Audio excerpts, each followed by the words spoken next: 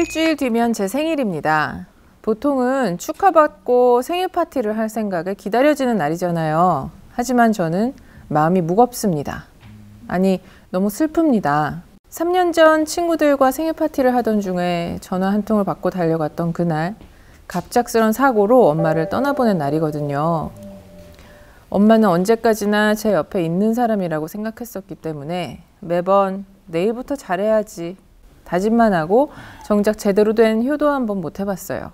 돌아가시기 하루 전날 웬일인지 엄마가 딸 사랑해, 딸도 엄마 사랑하지 하시는데 저는 약속이 늦어서 급하게 나가느라 대답을 안 했어요.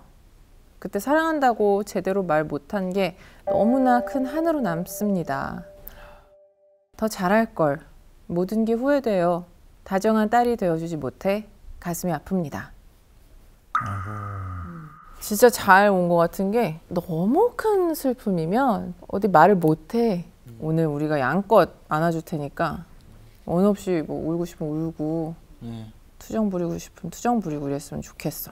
저는 노력하면 불가능이 없다 이렇게 좀 생각을 하는 편이었고 그렇게 살아왔는데 생각을 해보니까 죽음은 인간의 노력 밖의 일이 인, 일인 거잖아요. 제 주변에 소중한 사람들과의 그런 이별을 생각하면 전 아직 좀 많이 좀 두려운 게 있는 것 같아요. 어릴 때는 그냥 되게 무서웠거든요. 죽음이라는 게. 절대 일어나면 안 되는 일이야로 밀어냈는데 요즘은 삶의 과정이구나라고 이걸 계속 하고 있는데도 사실 아직까지는 힘들죠. 맞아. 네, 너무 힘들지. 삶이 아름답고 햇살이 아름답고 이런 게 다 끝이 있어서 아름다운 거지. 영원 무한하다면 뭘 위해 살아야 될까? 삶이 이렇게 디자인되어 있는 건 생의 눈부심이 특별하게끔 되어 있는 거겠지 하고 조금은 받아들인 것 같아.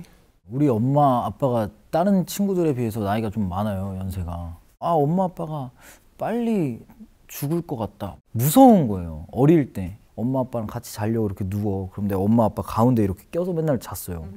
그럼 내가 맨날 그 말을 했어 엄마 아빠 빨리 죽으면 안 돼 맨날 맨날 그 말을 했어 내가 지금 생각해보면 엄마 아빠가 그 말 들을 때 얼- 어땠을까 기분이 아, 어, 마음 찢어지지. 너무 마음이 아팠을 것 같은 거야 내가 외할아버지가 어릴 때 그냥 베프였어요. 노는 것도 할아버지랑 같이 하고 밥도 할아버지랑 먹고 그래서 지금도 할아버지가 제일 좋아하는 음식이 나한테 제일 최애 식단이에요. 잘 때도 할아버지 쪽을 보고 자. 그래서 내가 자다 이렇게 돌아 누, 누웠다가 깨. 그러면 빨리 이쪽으로 다시 돌아오는데 혹시 할아버지 중간에 깨면 서운할 것 같은 거야. 귀여워.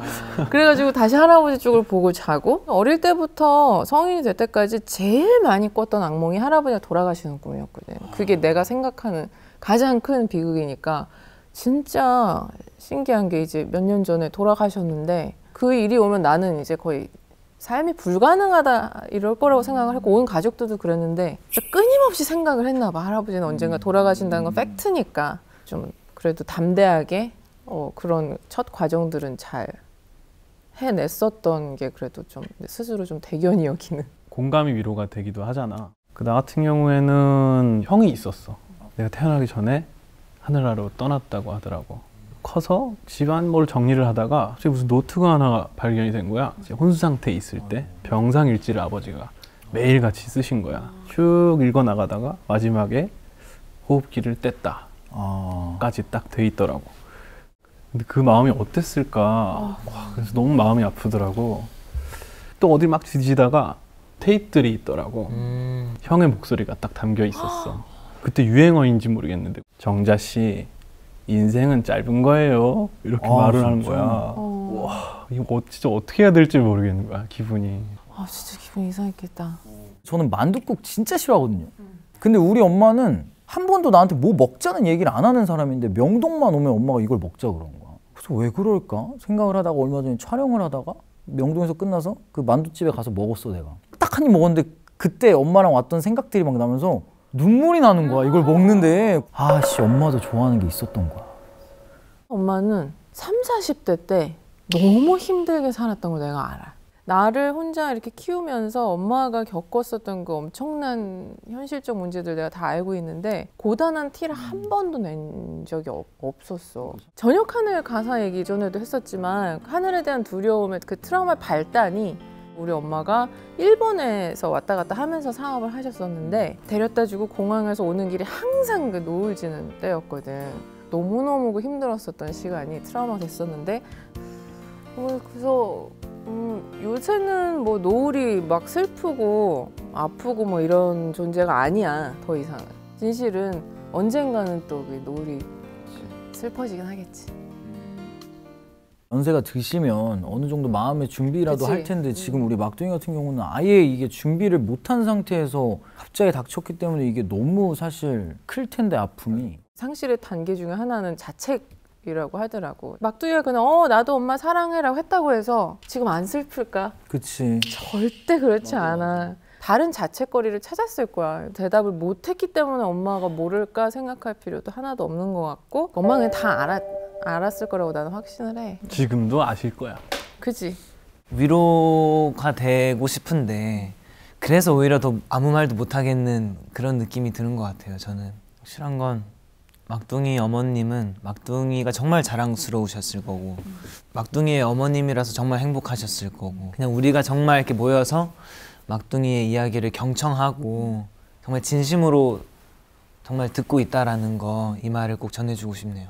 슬플 때는 작정하고 우는 시간이 난 너무 필요하다고 생각을 해. 그냥 실컷 울고 슬퍼하고 막 가슴 아프고 그런 시간을 보내도 괜찮다는 거.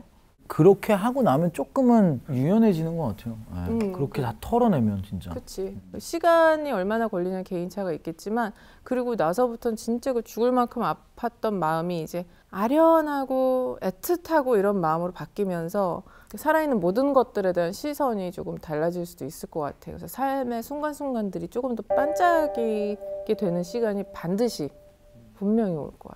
막둥이가 지금 생일날이 가장 힘들다고 얘기하는데 어머니는 그날 가장 행복하셨을 거란 말이야. 막둥이가 태어난 날. 그때 엄마의 기분들을 좀 생각하면서 엄마에 대한 사랑하고 엄마에 대한 고마움 이런 것들을 엄- 내 생일에다가도 넣는 거야. 그렇지. 그러면은 사실 더 특별한 날이 되지 않을까. 예.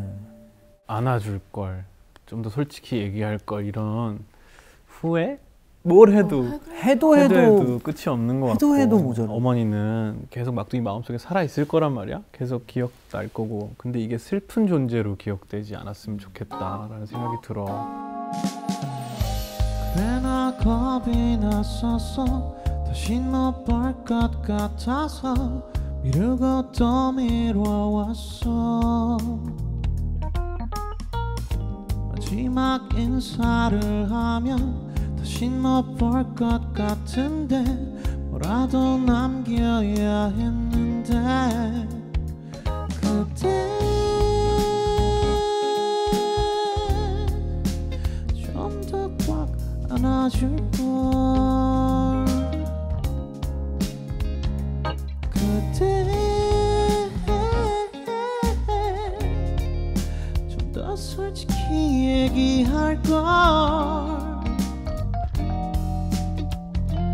작은 입맞춤이라도 있었다면 너 없는 밤은 차가웠겠지